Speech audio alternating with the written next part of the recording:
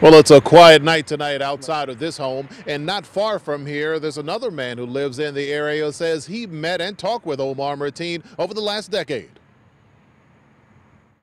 He, he was barely uh, out of his teens when I first met him. Mohammed Malik says he met Omar Mateen in 2006. They attended the same Islamic Center in Fort Pierce and developed a friendship over the years. He came across as, as, as a normal person. He was an introvert, uh, but most of our, our conversations were, you know, worship related.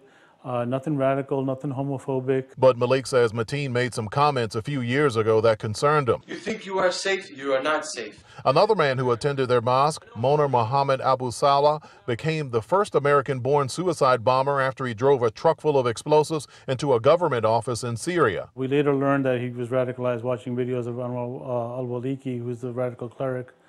And uh, when uh, Omar Mateen mentioned his name, that he had watched videos of uh, Anwar al-Awlaki as well.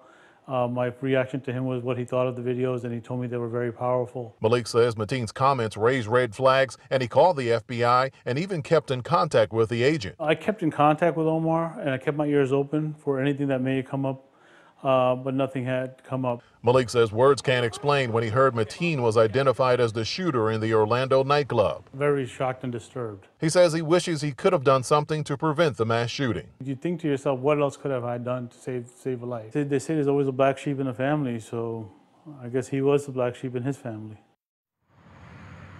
And Malik says he last spoke with Omar Mateen last month. He says Mateen was talking about a recent family trip to Orlando and how he liked the local mosque there. We're live in Port St. Lucie. Ted White, WPBF 25 News.